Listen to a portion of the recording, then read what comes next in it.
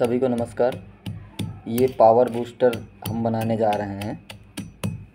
कई भाइयों ने मंगवाया था तो हमारे पास थोड़ी सी बची थी तो ख़त्म हो गई है अब। मात्र दो तीन पेशेंट की हमारे पास दवा बची है तो ये पावर बूस्टर इसमें ये तीस ग्राम केसर पड़ा है। पिसा हुआ और ये लौंग है। इसकी हम इक्कीस घंटे रगड़ाई करेंगे। इक्कीस घंटे इसकी जब रगड़ाई हो जाएगी तो और जड़ी बूटियाँ, शिलाजीत, केस शिलाजीत, जिनसेंग, अकरकरा और भी जड़ी बूटियाँ हैं, सालम, मिश्री, ये सब चीज़ें फिर पड़ेंगी।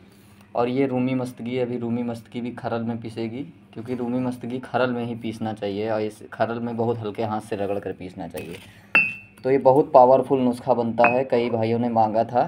तो फिर बनने जा रहा है, तीन, दो, तीन, चार दिन लगेंगे, क्योंकि इक्कीस घंटे की रगड़ाई है।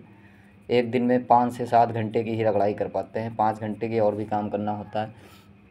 तो एक आसान सा जो है पावरफुल नुस्खा भी बता दे रहा हूँ। बताया भी था, उसका बहुत बढ़िया रिज़ल्ट मिला, मैंने कई लोगों को दिया है।